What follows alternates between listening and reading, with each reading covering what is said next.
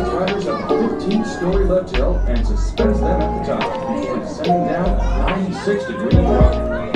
To the east, you will see many sites within our ghost town, Fiesta Village, and Snoopy areas. That mountain range, for instance, is our Timber Mountain Log Ride. It was the first theme log flume when it opened in 1969 and remains to this day one of our most popular attractions. Just beyond those tall pine trees is where you'll be able to set up camp with the Peanuts Gang.